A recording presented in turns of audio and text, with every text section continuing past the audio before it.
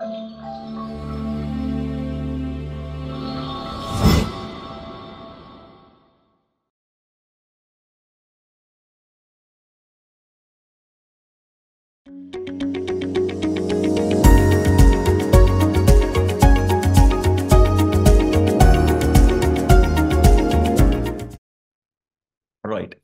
Uh, IBS. Let's go with IBS. Uh, irritable bowel syndrome. It's a long-term condition of the gut that causes episodes of tummy cramps, bloating, diarrhea, constipation. All right. Uh, usually, you know, we remember it with the mnemonic as well, ABC. Uh, uh, it could be uh, abdominal pain, and then B, these patients, they usually uh, presents with bloating as well. C, you can say cramps or you can say constipation, but sometimes they presents with uh, uh, diarrhea as well. All right. And also, you know, these patients, abdominal pain, and also you can say alternate bowel habits as well. Alternate bowel habits like constipation, diarrhea, constipation, diarrhea. It can be there. Now, uh, we just, we, uh, you know, alternate bowel habit, it's going towards direction of cancer as well.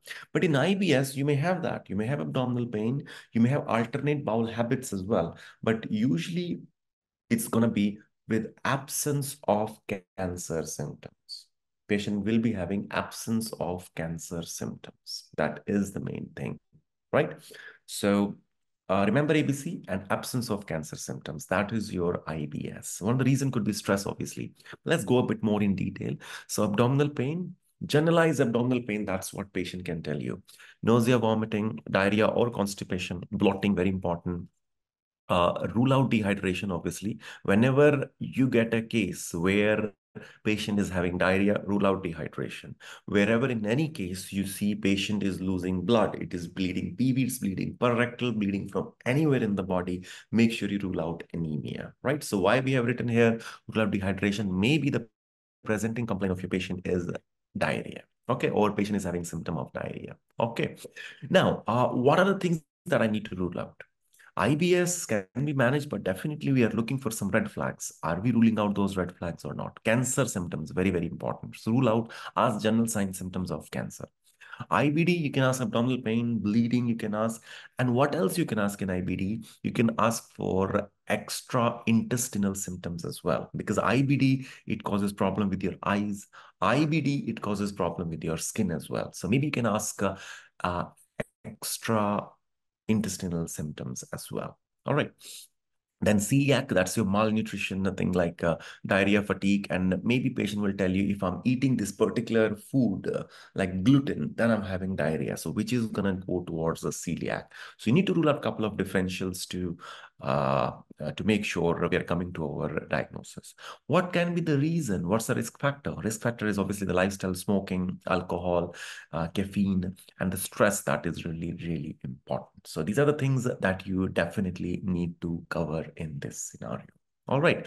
Obviously, go for general physical examination. We go for vitals. We go for abdominal examination. Sometimes you see patient is presenting with the abdominal pain or coming with the constipation, for example. So you may, you may have to do a digital rectal examination as well. All right.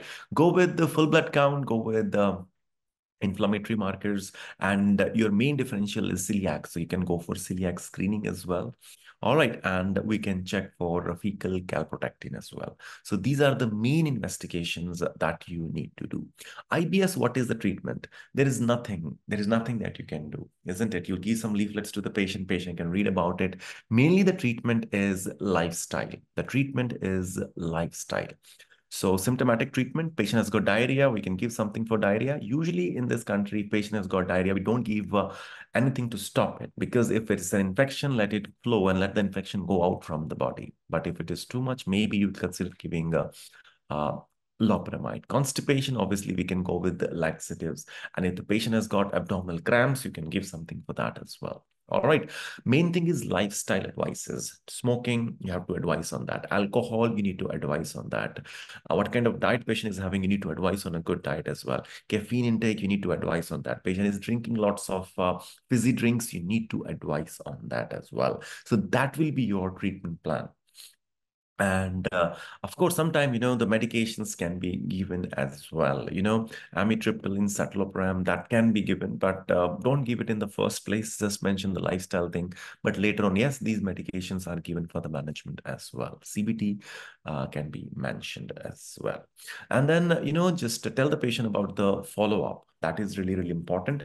And you need to give the warning signs for cancer. You need to give the warning signs for maybe IBD as well to these patients. Okay. And in terms of IPS, obviously the same points that you need to uh, cover. Idea, concern, expectation. Always, always ask this. In this case, if you ask the patient about uh, idea, they might be thinking they are suffering from cancer. That might be their idea. That might be their concern. And they might be expecting the investigations for the same. Right? So be careful on that. Right. So check and check, summarize, acknowledge, body language is very important. Please show it to the patient. Uh, this time, eight minutes is dedicated to you. So you will see how much marks, how many marks you'll get in the exam. Signposting, very important. Make sure you're doing active listening leaflets. Definitely you can offer. IBS is really, really, really important topic. Uh, it's very common, but uh, nothing much to worry because it's manageable, but you need to rule out cancer for sure. All right. So always when you are in the management, give the information in small, small chunks. Chunks, chuck and check. Give the information in small, small chunks and check the understanding of the patient, whether they have understood it or not. All right. So that's your IBS.